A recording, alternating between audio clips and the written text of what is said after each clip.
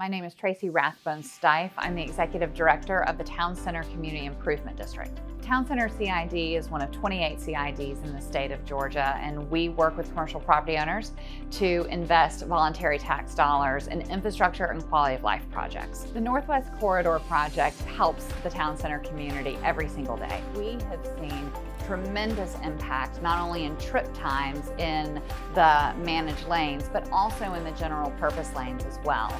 Overall congestion for rush hour has been decreased both in the AM and in the PM and trip riders are seeing hour plus savings on their commutes um, both to and from home. So as you all know that that does lots for our community, not just for um, improving traffic and congestion, but helping families get to soccer practices and home for dinner in time and able to help with schoolwork and able to do things that they wouldn't otherwise be able to do because they are sitting in traffic. The Northwest Corridor project is an important project not only to the Town Center CID, but to me personally. I use it every opportunity that I get, going downtown for meetings, uh, commuting back and forth to work and from home.